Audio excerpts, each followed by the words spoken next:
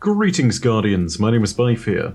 So, I'm back. Apologies for the long absence over the holidays, but I figure we can now get back into some more of that content that all of you love. I'm so thankful that everyone understands the need for me to occasionally take these long breaks, and I'm working to make sure that I need to take fewer of them by making sure I don't burn out, you know, and can actually take more scheduled breaks and planned breaks and stuff that doesn't mean I just take like a month and a half out from the game. Anyway, at current, that's my only real priority is to make sure that I can form a better work schedule, not burn out, and uh, get back into making more content more consistently for you guys. In fact, with 2021, that's kind of my only big goal, is to make sure that throughout the year consistently, you guys have normal content coming your way on a more scheduled basis. This is one of those things I want to fall into.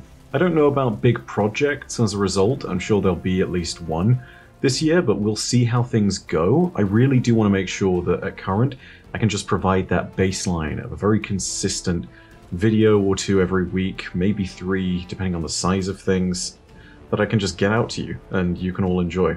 Anyway, we'll see how things go as time progresses.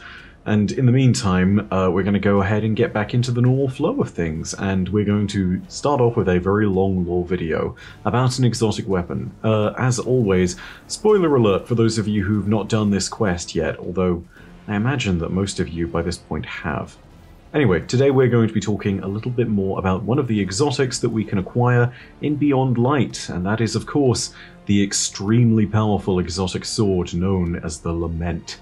This is one of those weapons that in PvE terms has become meta-defining to the point of, well, almost eclipsing every other option in the heavy slot. But the story behind this weapon is all wrapped up in the tale of Clovis Bray, and of course, his time on Europa leading to his transcendence beyond humanity. There is a lot of detail about the actual nature of Clovis Bray's story that we could go over, but for the sake of brevity, we're not going to go into too much of it, and we're going to go ahead and leave that for the series that I started a few months back.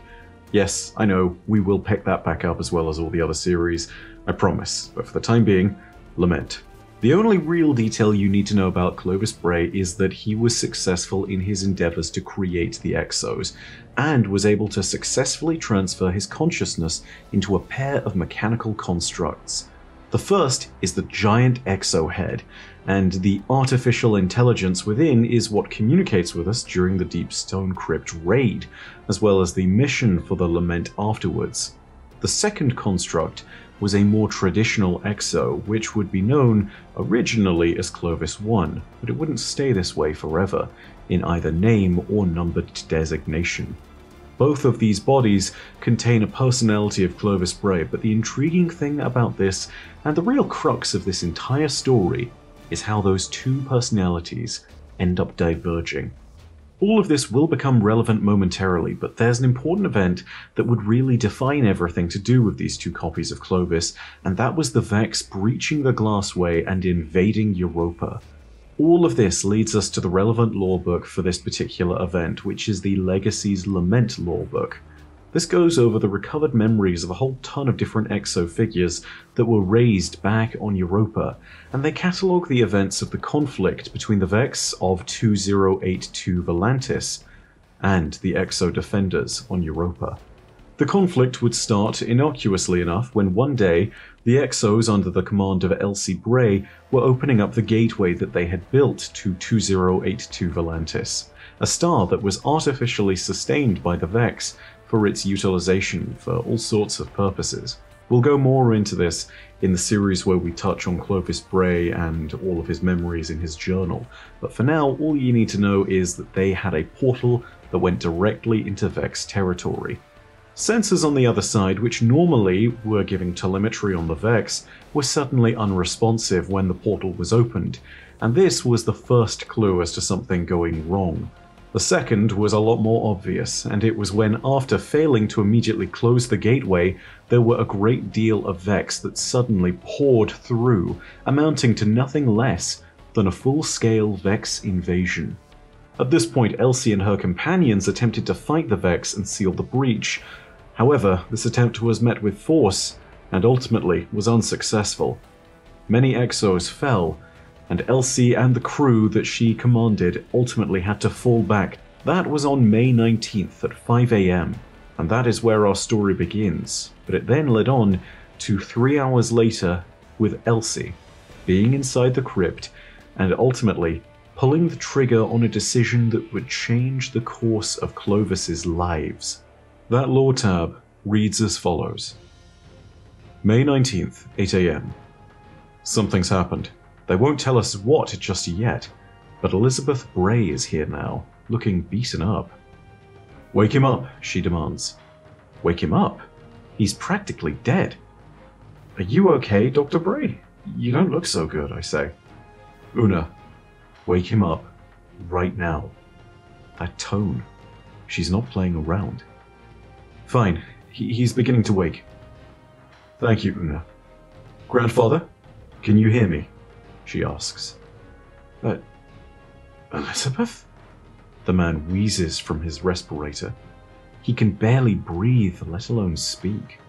Why is she bothering him like this at the end of his life? Don't try to speak. Just listen. The glassway has been compromised. We were ambushed by the Vex. They just came through and killed them all, grandfather. Uh, what? I managed to trigger the remaining defenses on my way out, but they won't hold. The portal is just sitting there, open. They're pouring through. I'm activating the evacuation protocol. Please, give me the codes to do so. My backup, Clovis chokes out. Activated. But that means I die. Yes. But my time is not yet over. I clean up the blood, spitting out of his mouth as he talks. Everyone deserves a little dignity on their deathbed. There's no time, grandfather. We have to evacuate, or people die. The old man's eyes say he knows. Legacy first, Elizabeth, he says. She's a bleeding heart beneath it all. Doesn't matter how many times they reset us. Can't lose the essence of who we are at our core. Every exo knows that. Dr. Bray stands. She turns to leave. Fine. That can't be it, can it? She stops at the door. You'll regret this, whether you live or not. This was the moment that the decision was made. But it was not Clovis Bray's last human moment. That was recorded in his final journal entry, one that was found in the recovered copy of his journal, the second half of it. And that entry tells of his last thoughts. It reads as follows She is saved. By the grace of my good work, Elizabeth is saved. Even now, she leads the preparations to defend against the Vex incursion. When I loaded her into her new exobody, I told her that the Vex had compromised her last instance, and it had become necessary to destroy her. Hardly a lie. I have given her life thrice over. First, I created her father. Then I saved her from her illness. Now, I have rescued her from her foolish mistake. I did what I failed to do for my son. I gave her a second chance. To live and be my loyal granddaughter. The backup sites have been alerted, and reservoirs of the alkahest have been dispatched to keep them from running if Europa falls. My work is done. It is finally time for me to go to my own reward. I have prepared my custom script. All I need do is strike a key, and the scanner will sedate me, flush me with the poisons of immortality, and rip a perfect image of my mind from the quantum information encoded in the atoms of my brain. Whether such a high resolution scan is necessary, it is doubtful that any element of the mind is truly quantum, is besides the point. I insist upon the best. The vials of imaging binder smell like sweet metal.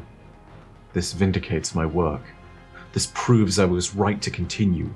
All those doubters, all those defeatists, all those whining myopics who bleated, You have enough, Clovis. Why must you ask the world for more?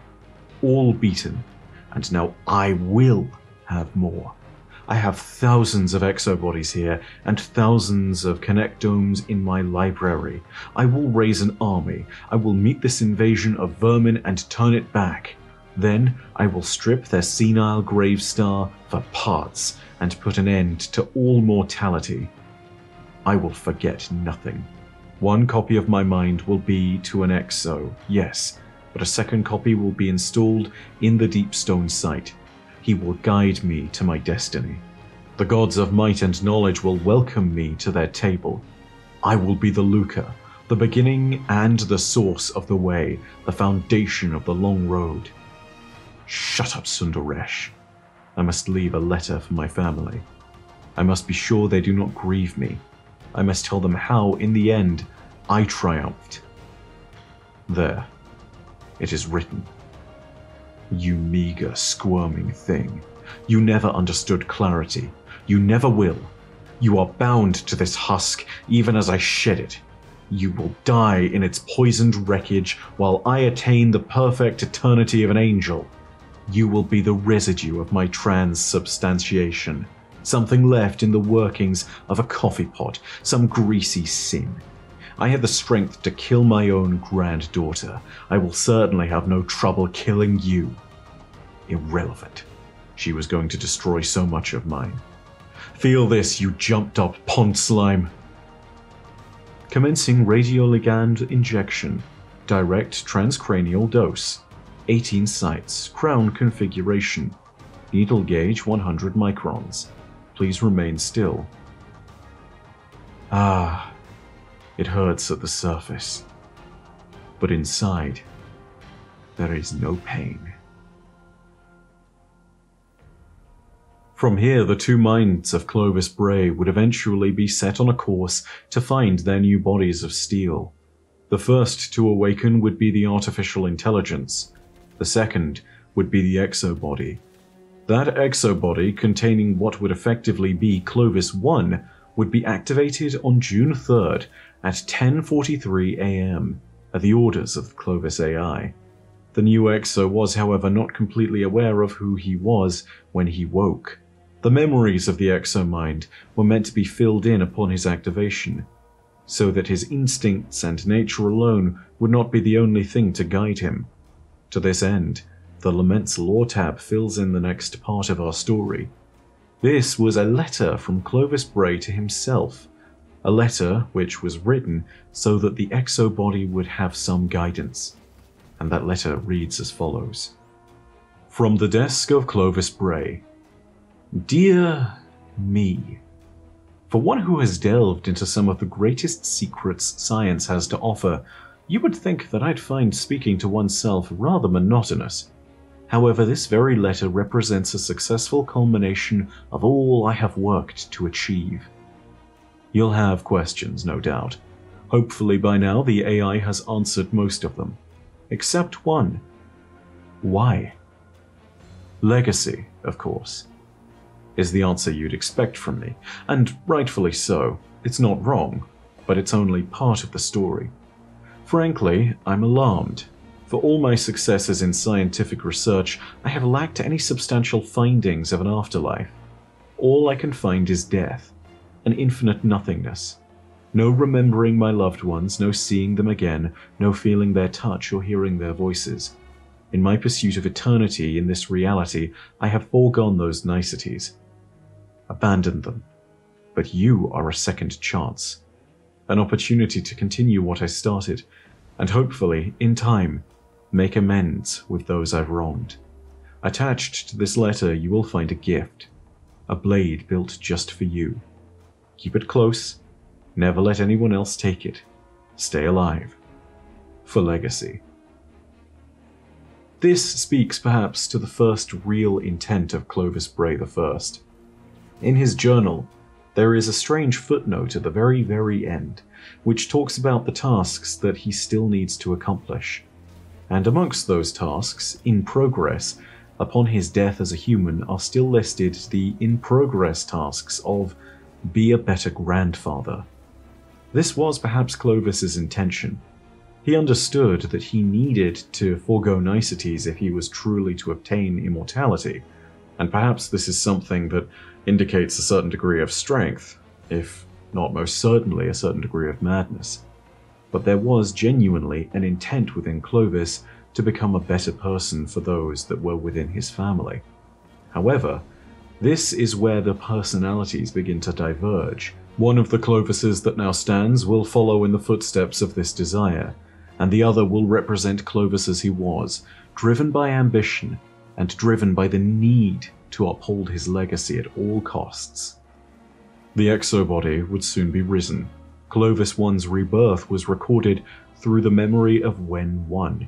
Wen recorded the moment, but almost none would understand the incredible consequences of the rise of this new exo.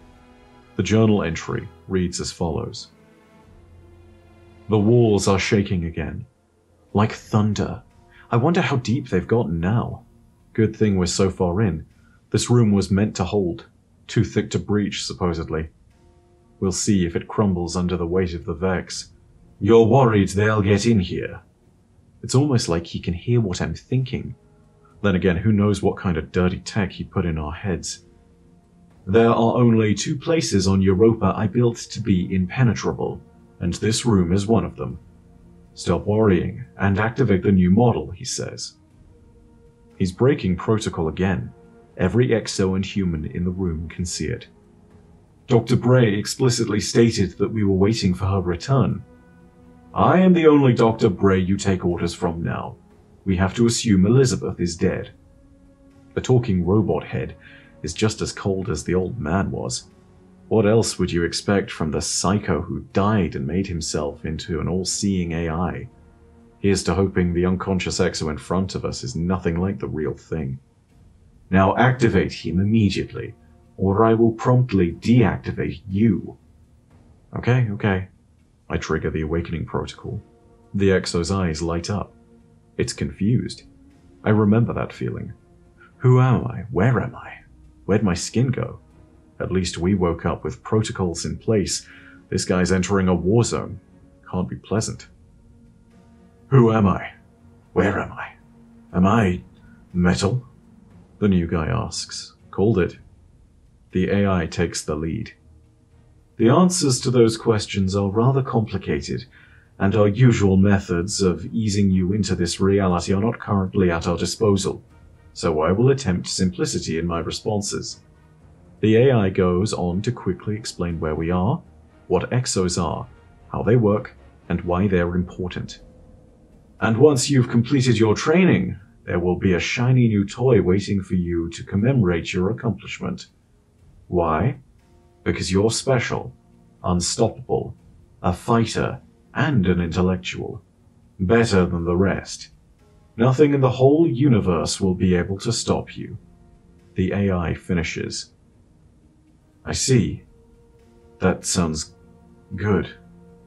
And who. what are you? the new guy asks. I'm glad you asked. I'm Clovis Bray, and you and I are. Why is he awake? a voice demands. Dr. Bray, she's alive. Came in through the tunnel. This should be good. A couple of exos trail behind her, No 2 and Mia 9. I thought you'd died, Elizabeth, says the AI, so I asked Wen One here to wake him up. Dr. Bray flashes me an angry look. I ought to unplug the AI bastard. So you broke protocol, she says. I put the protocol in place, Elizabeth. I can break it. I only need someone I trust to initiate the signal. I can sense Dr. Bray's frustration. The Vex are everywhere. We should have evacuated Europa. There's a group of survivors pinned down in bunker E15. I need help rescuing them. That can wait. I've equipped Charon's Crossing with an advanced signaling technology connected to the Warmind and his bunkers. If we match that to the communication signal used by the Vex, we could theoretically lead them off-world and salvage what we've built here. But the Vex have cut off internal communications channels and cloud memory collection. You'll need to do it manually, Elizabeth, the AI says. That'll lead the Vex straight to Mars, Earth, You've said it yourself, the Vex desire only annihilation. You're talking about billions of lives lost. I'll play no part in that, she says. My sweet, naive granddaughter.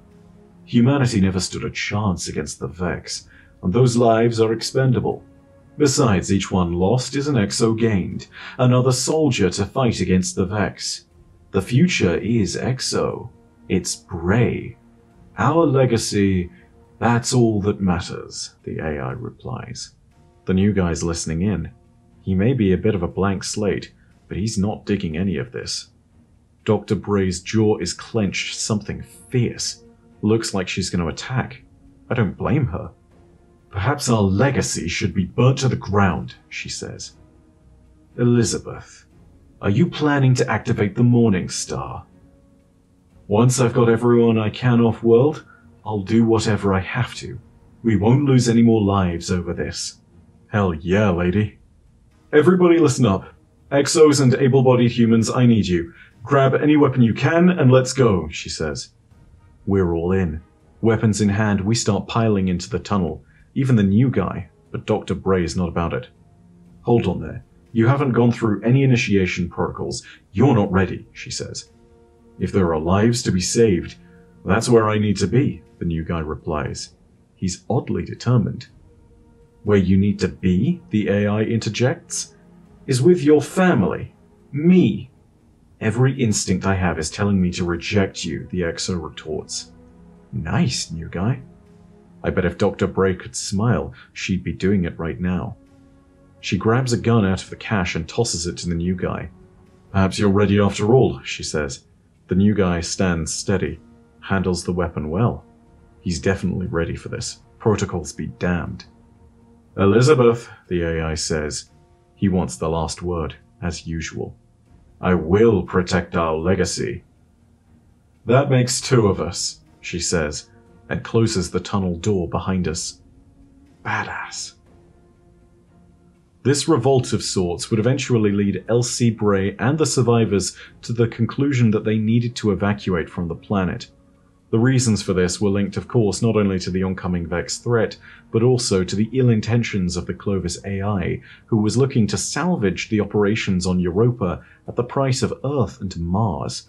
All of this being said, this would lead the survivors, both human and exo, to the Eventide ruins. Moments before they had a chance to escape on the evacuation ship, Clovis's AI would once again intervene, and this time with calamitous consequences. The first record comes from the perspective of Hector 6, and it reads as follows. June 3rd, 9.34 p.m. Can't believe we're back at Eventide. The place is in ruins. Sad to see it this way. But I need to go off Europa. Rumor is Dr. Bray is going to blow up the whole place. Evac ship's in sight at 11 o'clock. Thanks for the call out, Nameless Exo. Everyone hold, Dr. Bray says, and points out the Vex around the evac ship. We're going to have to do this carefully, she tells us. Everyone? Elizabeth, a familiar voice says. Oh no, it's the AI. He's overridden all our comms. We can all hear him. Do not set foot on that ship. Piss off, grandfather, she snaps. And you, my new friend, what will you do? the AI asks. He's talking to the nameless one now. What the hell is he planning? Dr. Bray looks to the nameless exo. She shakes her head, signaling him to not say anything. But he looks mad. Seemed mad at her since they got here. Tell me who I am and I'll stay behind, the exo says. Really? Family drama? Dr. Bray's furious. We don't have time for this. My friend, I'm surprised you haven't figured it out by now, the AI responds. I'm Clovis Bray, like you, the Exo says. That's right, Clovis One, the AI says, sounding almost giddy. But I can't remember anything about my life. By design, you were stripped down to your most basic emotional form, like all Exos. But help me keep your friends from leaving, and I will tell you everything about your life. There's a pause. Dr. Bray shakes her head at Clovis 1. Please, she starts. We don't need another Clovis. I've seen her speak sincerely before, but this is way beyond that. This feels more like begging. Clovis 1 and Dr. Bray share a look. Piss off, old man, Clovis says into his comms. Dr. Bray is utterly thrilled. We all are. Phew. So you still refuse to acknowledge your god. So be it, the AI says. What the hell does that mean?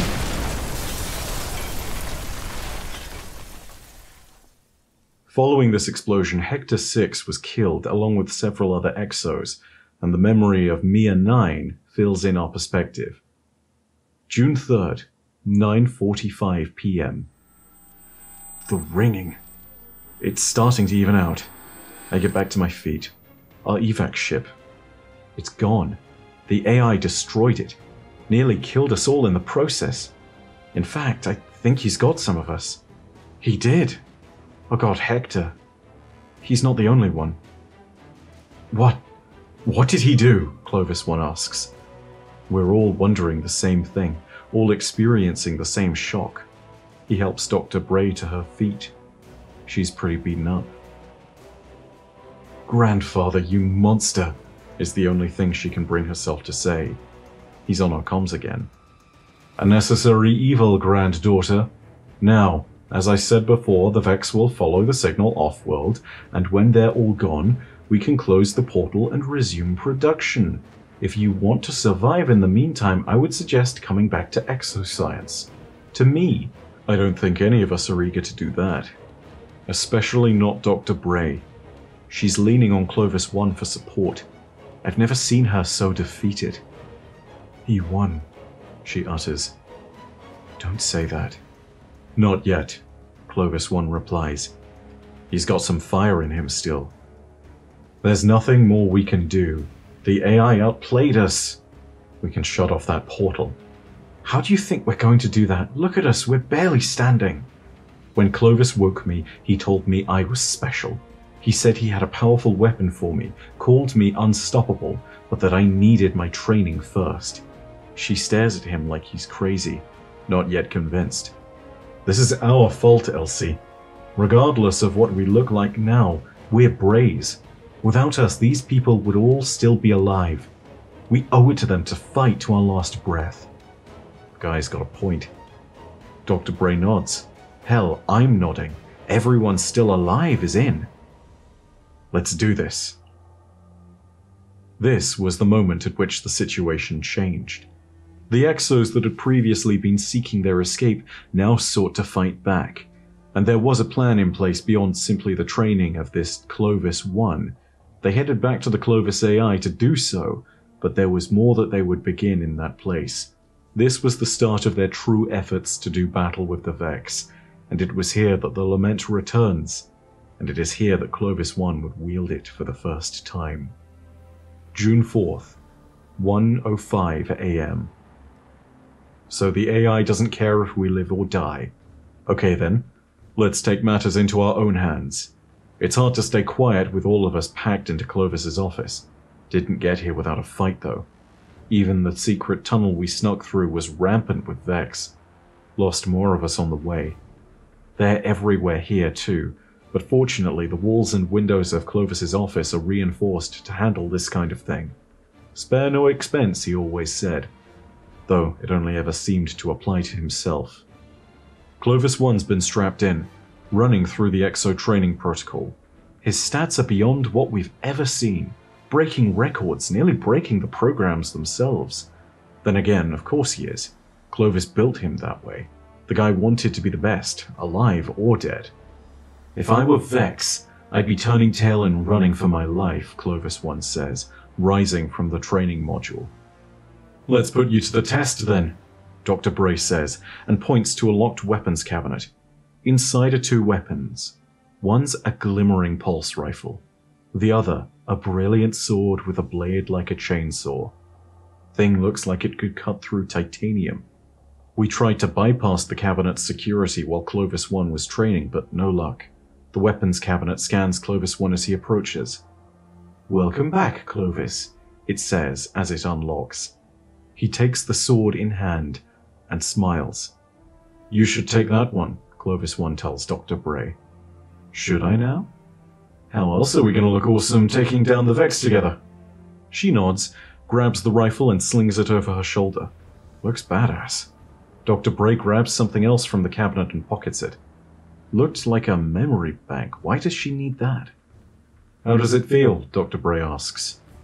Like it was made for me, Clovis once says, admiring the craftsmanship of the sword. In fact, it was, a voice booms over the PA system. The AI again. Always watching, always listening. You should know, strong as you are, this is likely suicide. The Vex truly have disrupted the cloud memory collection system, so your memory banks are no longer transmitting data moment to moment. Anyone who dies out there will be rebuilt here from their previous imprint. Then we take imprints now and live with it. Some will stay here, to keep bringing the rest of us back, Dr. Bray says. She makes a good point. Rapid memory degradation aside, the Vex are many and they are cunning. It won't be long before they catch on and come after you here. If you're to do this, you'd best fight with everything you've got. Something lights up outside the office and down the hall. I've unlocked the armory. Foolish as you may be, I'd be the bigger fool not to support you in trying. This doesn't forgive what you've done. People died. People we can't bring back, Dr. Bray says. She doesn't back down. I seek no forgiveness, only a promise. Always Mangle. Do not destroy the portal. Who says anything about destroying it? The AI sighs. You, the first time you tried. First time? The memory bank you just slipped in your pocket. That belongs to Elizabeth One. Dr. Bray just shakes her head.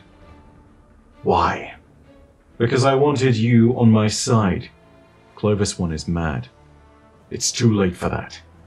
Dr. Bray puts a hand on his shoulder, calms him down. We won't destroy it, Clovis, she says, winking at Clovis One. Well then, stock up, everyone. You have quite a fight ahead of you. From here, the Battle of Europa began. This was recorded in legend and is even seen as a moment in time from the perspective of ghosts lost in the Vault of Glass. The Great War between the Exos and the Vex took place, and in time, the Exos would begin to turn the tide against their invaders. They would start to win. No 2's record of the conflict is most complete, and it reads as follows June 4th, 6 am. We storm Europa with everything we have. I've never seen anything like it. His strength, agility, unmatched. Vex after Vex, sliced through like butter. That sword of his wailing like a banshee seeking vengeance, carrying the weight of thousands of lost souls. It seems like a pain lingers inside Clovis One, as if he fights not just for those we've lost, but to fill a void that was occupied by fear in a previous life likely the same fear that brought every one of us to Europa and opened the very gates of hell. That void begins to fill once again. This time, not with fear, but with love. Dr. Bray stands valiantly alongside him, rifle in hand, leading the charge with ferocity and strength of will. These are the leaders we needed, leaders guided by hope. We fall, we rise. One, two, three, four, five, six, seven, eight, nine, ten. We fight alongside them. Those of us who can make our way across Europa and into the glassway where the portal resides. We fall. We rise. 11, 12, 13, 14, 15, 16, 17, 18, 19, 20. Over and over, we fight, we fall, we rise, rinse and repeat. 21, 22, 23, 24, 25, 26, 27, 28, 29, 30. Every time we get a little bit closer, every time more and more Vex bodies pile up, it infuriates them. They flow faster, they fight harder, the numbers increase. They know now what we're after. They throw everything at us. But Clovis 30 and Dr. Bray are unrelenting, swords slicing effortlessly, stroke after stroke, rifle blaring like thunder, bullet after bullet. We fall, we rise. 31, 32, 33, 34, 35, 36, 37, 38, 39, 40. These constant reboots aren't without sacrifice. A number of memory banks begin to fry from rapid overuse. A few of us are never coming back. We know this. We rise. 41, 42, 43. We finally made it to the inner chamber of the Glassway, where the portal resides. It's barely visible, blocked by the horde of Vex that defend and pour from it.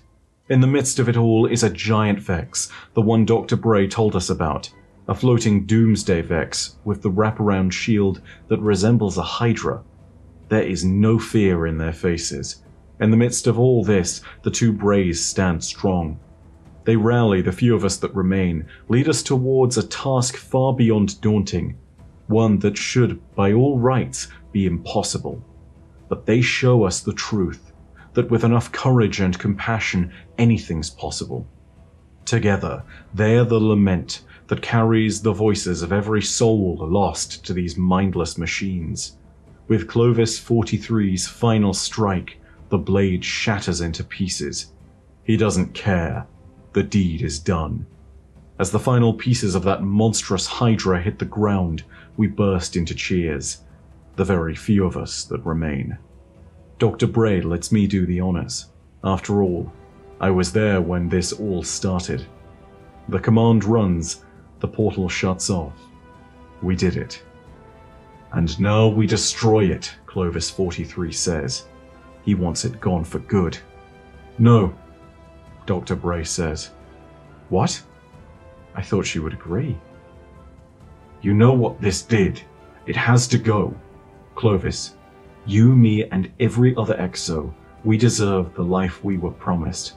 If this portal falls and we die, we lose that life. And if we're gone and the Vex finds some other way back, humanity is doomed. So let's shut it down. Hell, let's swallow the damned key. But the portal stays. Clovis 43 sighs. I hope I don't live to regret this. Same goes, she says sincerely.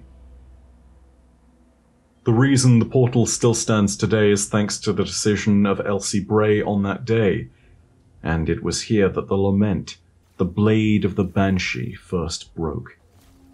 Its edge shattered into shards that destroyed the transcendent Hydra guarding the portal.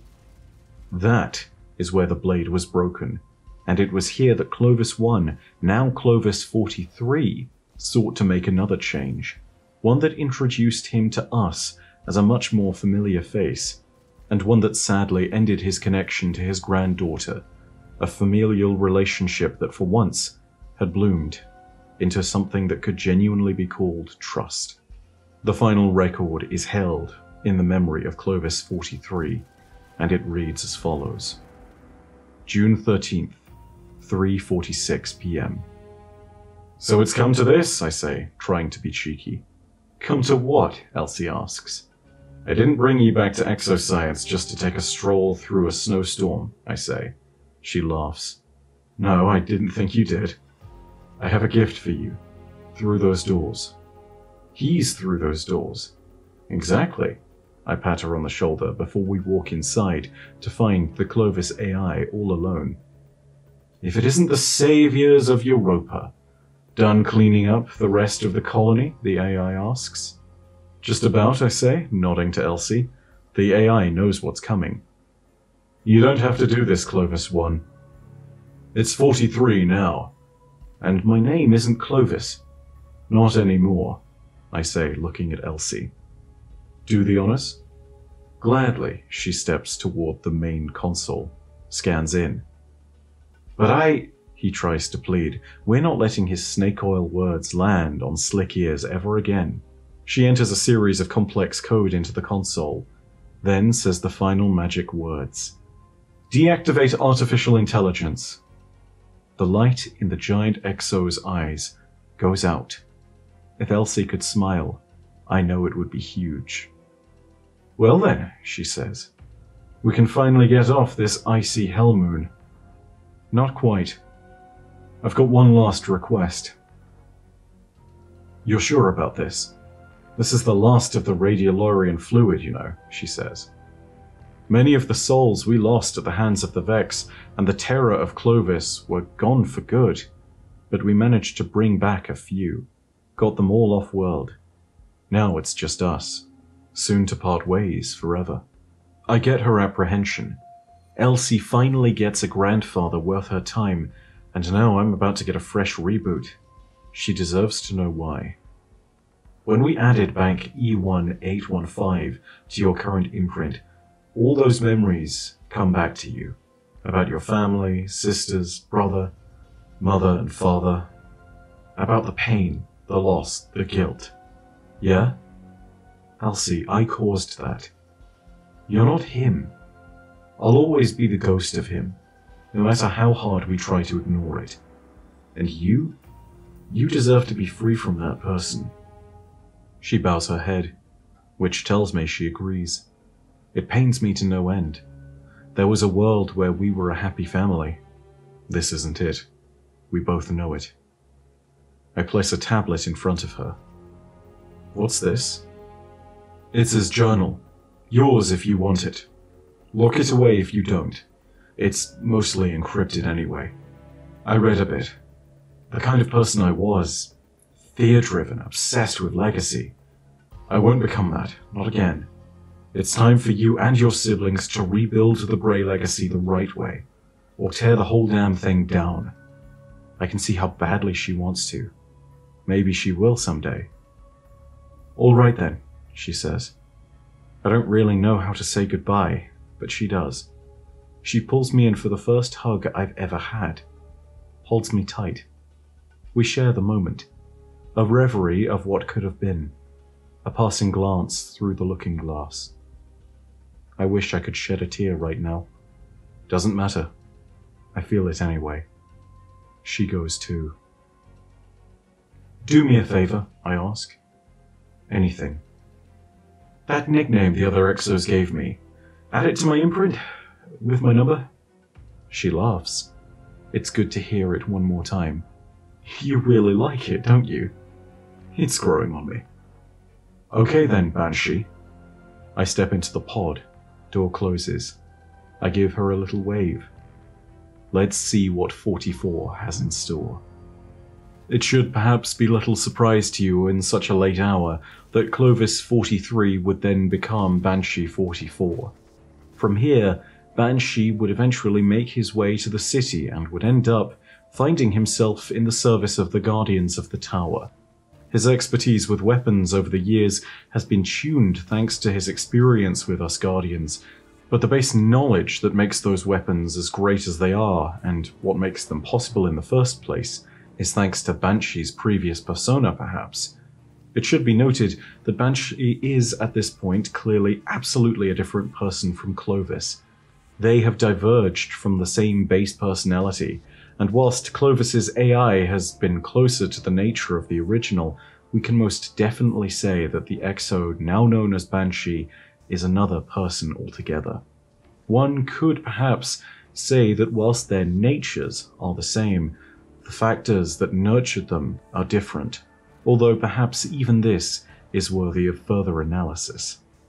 All of this story was to be forgotten in the snowy wastes of Europa. Until now, with the destruction of the Morning Star and the breach of the Deepstone Crypt, the memories once wrought through steel and silica that day are being given new life. Both divergent personalities born from the mind of Clovis Bray I have returned, with the Clovis AI being awakened by the crypt's breach, and Banshee's memory being stoked once more. It was here, with Banshee, that our quest to find the lament began. Banshee told us of memories and images flashing through his mind. Memories of battles with the Vex, of the blade that tore through them, and of the dead exos that surrounded him. Those dead exos were our first port of call. We investigated the bodies of those such as Wen and No who had fallen in the battles on Europa. We investigated them and recovered parts of their memories. With enough of them, we were able to piece together the story of what happened. And perhaps more importantly, we knew to proceed further into the exoscience facility. Deep in its heart, we found what we were looking for. The AI that previously had greeted us on the Morning Star and had attempted to kill us, the closest remnants of Clovis Bray the First. Artificial intelligence activated. Who in the hell do you think you are?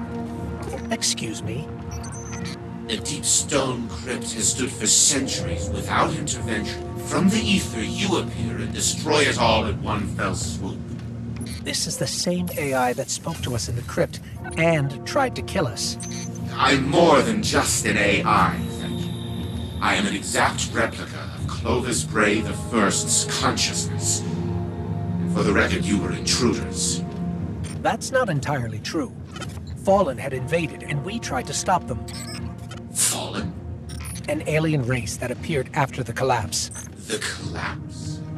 Sounds like I have much to catch up on. I suppose I should offer some gratitude for providing. In the meantime, perhaps you can refrain from further destroying my life's work. Hmm? Artificial intelligence activated. Oh, you again. And what should I help you with this time? It's our friend, Banshee, an exo. He had scattered visions of dead exos that mentioned a blade and led to you.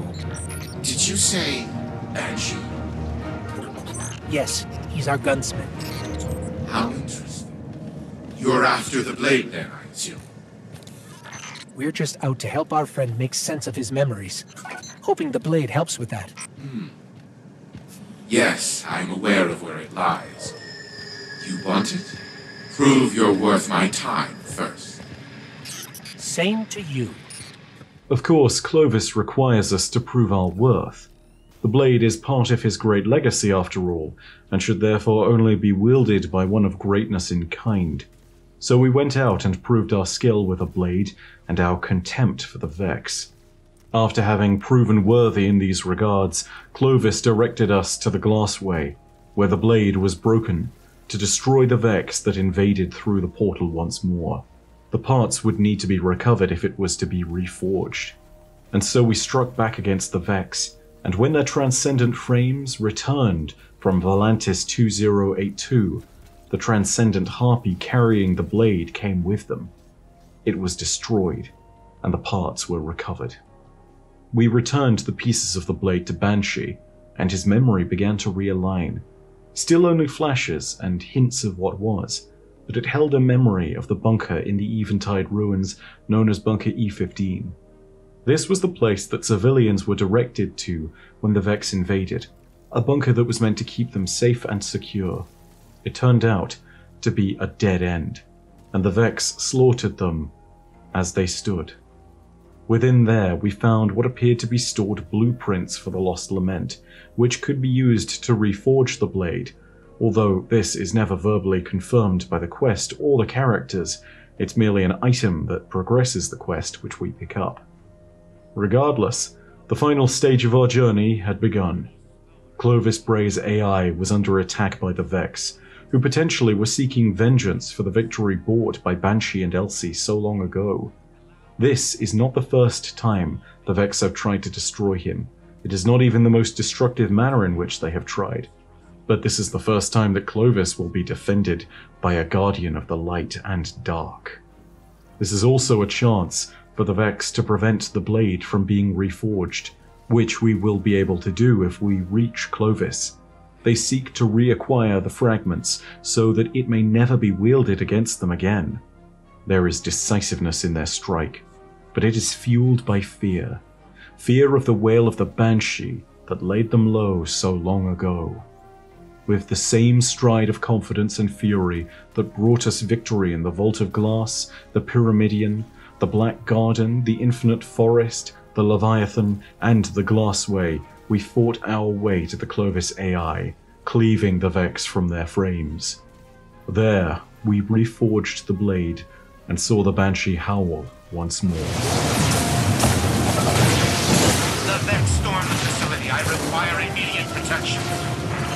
Coming. Do you spot my security frame? I'm unable to detect them. They've likely been apprehended by the Vex. We'll free any we can find. They found me. Where are you? We're almost there. The blade, do you retain it? It must be reformed. So now you want to help us. That blade is the bane of the Vex. wielded by a valiant Exo the last time they invaded, centuries ago. In peace, the Vex believe they have a chance to reacquire it. I will relent this once. I should have helped you sooner. We must now rebuild it together. There, the pedestal. Place the blade upon it. I will initiate the forging protocol. The onslaught has arrived. They must not disrupt the forging process. We'll hold them off. Forging protocol complete. Take it. Now. Wield the blade. Destroy them all. Every last one.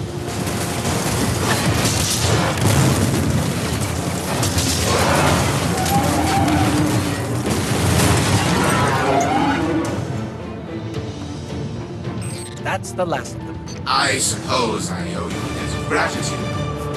However, I generally prefer not to be indebted to anyone. As such, you may consider the blade your property. Though you should allow this Banshee an opportunity to test its integrity once more. You sure you're safe?